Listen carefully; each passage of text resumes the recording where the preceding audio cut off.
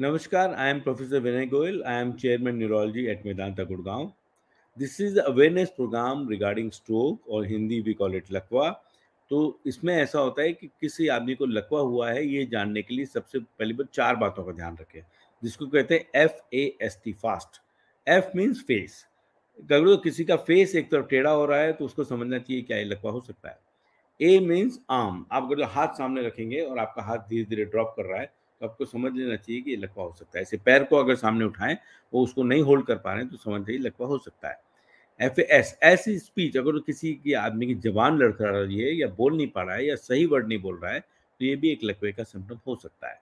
चौथी बात तो टी टी इज़ टाइम तो टाइम ब्रेन इज़ टाइम जितना जल्दी आप अस्पताल पहुँचेंगे, आपको इलाज बेस्ट मिलेगा और आपकी रिकवरी होने के चांसेस बढ़ जाएँगे।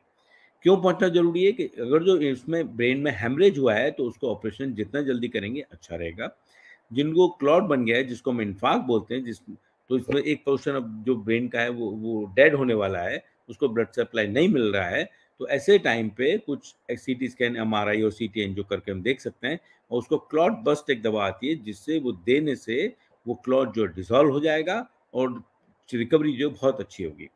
ऐसा करने के लिए मरीज़ को किसी भी नियरेस्ट अस्पताल में विद इन थ्री आवर्स पहुँचना चाहिए। थ्री से साढ़े, तीन से साढ़े चार घंटे का टाइम ऐसा होता है, जितना जल्दी आएँगे उतना अच्छा है। अगर जो दवा आधा घंटे में लग जाएँगी तो चांसेस रिकवरी के बहुत अच्छे हैं। तीन घंटे में लगेगी, तब भी अच्छा है। तीन घंटे से साढ़े चार घंटे के बाद चांस है कि पेशेंट रिकवरी भी कर सकता है, नहीं भी रिकवर करेगा।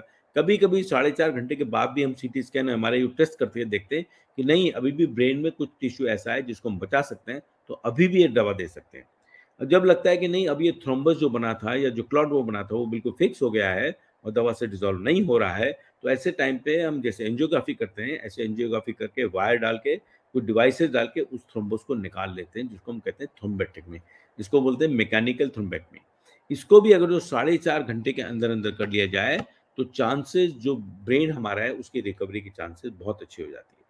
तो कभी भी किसी को भी जरा सा भी डाउट हो तो उसको इमीडिएटली अपने डॉक्टर से जाके बात करना चाहिए।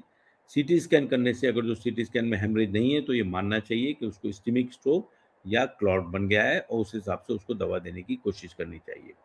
तो आप जब भी बात करें अपने डॉक्टर से, उसके बारे में ज़रूर जानकारी हासिल करें। आपके कोई सवाल हैं तो अपने कोई भी डॉक्टर से जिसको आप किसी भी बीमारी के लिए बात करने जाते हैं, उनसे ये सवाल पूछ सकते हैं कि डॉक्टर साहब मुझे दो मिनट ये बताइए कि ये क्या होता है, लकवा क्या होता है। और क्या प्रिवेंशन होता है, इसके बारे में ज़रूर बात करें। मैं चाहता हूँ कि हमारी सोसाइटी में लकवा नाम की बीमारी से हम सब बच जाएँ और किसी को भगवान न करे, ऐसी तकलीफ़ की हो।